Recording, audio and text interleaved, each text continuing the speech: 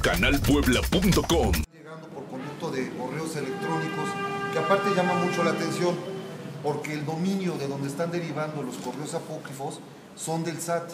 Por ejemplo, tenemos uno que se llama cobranza.sat.gov.mx.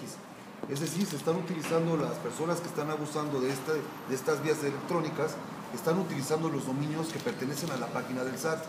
Se tienen detectadas 32, 32 correos electrónicos, detectados 32 correos electrónicos que se están utilizando para poder solicitar información a los contribuyentes. Tenemos el caso específico que, como ya el Código Fiscal permite el cobro de contribuciones a través de las tarjetas de crédito, tenemos el caso de un cliente que por desconocimiento aportó la información de la tarjeta de crédito, incluso ya se le hicieron cargos por más de 150 mil pesos.